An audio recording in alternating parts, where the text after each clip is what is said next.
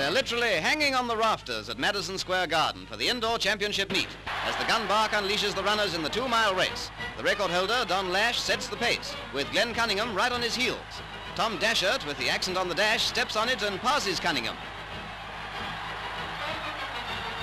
And now for the lap that caused the uh, deuce of an argument.